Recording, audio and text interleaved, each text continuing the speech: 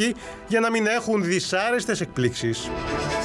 Ε, εδώ είναι ο κύριος Βασιλάκος για να το συζητήσουμε. Γιατί καλησπέρα και ευχαριστούμε πολύ που μας βοηθάτε μια ακόμα φορά. Ε, νομίζω ότι ε, ε, ένα τέτοιο πράγμα το έχουμε Ναι. σκανάρει όλοι μας, έτσι. Έτσι. Δηλαδή, ε, ένα QR code το οποίο τι να, από το κέρδισε ένα δώρο, Ναι. διευκολύνει σου. Πώς μπορώ να ξέρω ότι αυτό δεν κρύβει παγίδα; Πολύ εύκολα. Α, Καταρχάς, τα πράγματα στην τεχνολογία όταν τα ξέρεις είναι απλά. Τι θα πει QR code; QR code θα πει quick response. Γρήγορη απάντηση. Μάλιστα. Βάζεις την κάμερα του κινητού σου και τι κάνει, μετατρέπει την εικόνα σε μία ακολουθία αριθμών. Οι οποίοι είναι πολλοί. Είναι αυτοί οι γνωστοί αριθμοί RF που πληρώνουμε Ναι, ναι, ναι. στους λογαριασμούς. Αντί να τους γράφεις λοιπόν, η ΔΕΗ τι έχει κάνει και οι άλλες εταιρείες ρεύματος έχουν βάλει QR code. Το σκανάρι το πληρώνεις. Τι πρέπει να προσέξεις όμως για να μην πέσει θύμα; Ναι. Πρέπει την ώρα που πας να σκανάρεις Ναι. να είσαι μέσα στην τραπεζά σου. Να έχεις μπει δηλαδή πρώτα στην τραπεζά σου, να έχεις μπει πρώτα στο λογαριασμό της ΔΕΗ, των άλλων εταιριών, του Δήμου Αθηναίων όταν έχεις να πληρώσεις κλίση και μετά να σκανάρεις. Ένα λεπτό. Όχι να ξεκινήσεις από το σκανάρισμα. Ε, Γιατί εκεί μπορεί ο απαντεώνας να σε πιάσει και να σε πάει αλλού. έχω δει πάρα πολλούς διαγωνισμούς Ναι. όπου σου λέει σκάναρε στην οθόνη της τηλεόρασής σου. Ναι, μπράβο. ε, του υπολογιστή σου την οθόνη όπου αλλού.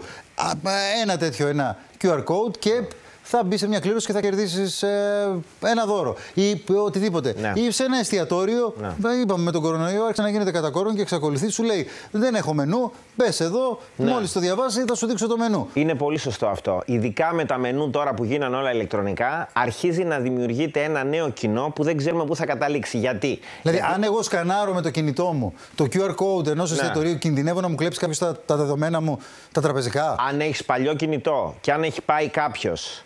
Τι θα πει παλιό κινητό; Δηλαδή να έχεις να έχεις κινητό διετίας. Που οι περισσότεροι έχουν. Ε, κινητό διετίας. Έχω κάθε χρόνο Ή να πληρώνουμε τριετίας. 2.000 να αλλάζουμε κινητό. Τι γίνεται στο παλιό κινητό που δεν μπορεί να το καταλάβει και εκεί κινδυνεύουμε να την πατήσουμε; Μπορώ να πάω εγώ και να, ο κάθε εγώ να βάλω ένα αυτοκόλλητο QR μέσα στο εστιατόριο χωρίς να με δουν. Ναι.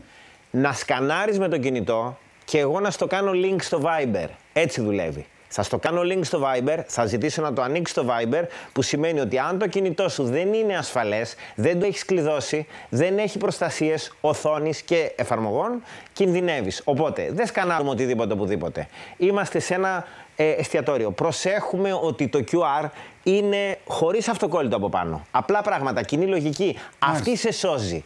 Να δεις λοιπόν ότι φτάνεις εκεί και ενώ είσαι ένας απλός πελάτης, δεν θα την πατήσεις γιατί δεν θα σκανάρεις κάτι που δεν ξέρεις και κυρίως δεν θα πας κάπου αλλού. Γιατί το Κατανοητό. QR μπορεί να γίνει ή εφαρμογή ή link ή κάτι άλλο. Οπότε, αν δεν έχω λόγο να σκανάρω, καταρχάς δεν σκανάρω. Δεύτερον, οι, οι σύγχρονες συσκευές πάνε όλο το σενάριο το τρέχουν. Δηλαδή, παίρνουν το QR code, πηγαίνουν στο site, εκτελούν την παραγγελία. Να τον πάρουμε ως μάθημα εμείς, οι μεγάλοι, οι μεγαλύτεροι, να το πούμε και στα παιδιά, γιατί προφανώς είναι πολύ πιο εύκολο να βάλεις ένα παιδί να σκανάρει με ένα κινητό τηλέφωνο. Ε, είναι μόδα, είναι ευκολία, είναι κάτι που είναι πολύ πιο οικείο στις νεαρότερες ηλικίες. Λοιπόν, Μου τύχε με παιδάκι, πλήρωσε 600 ευρώ, ευτυχώς σε παιχνίδι, χωρίς να το πάρει είδηση. Από με QR code. Πήρε, από QR code με πήρε φρικαρισμένη μαμά. Λέω ένα λεπτό, μη μαλώνεις το παιδί. Το παιδί μπορεί να αγόρασε πόντους, δεν τους κατανάλωσε, μπορείς να τους πάρεις πίσω. Και πήρε πίσω τους πόντους.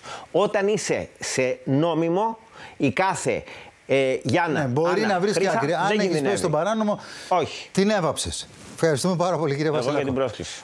Να θυμίσω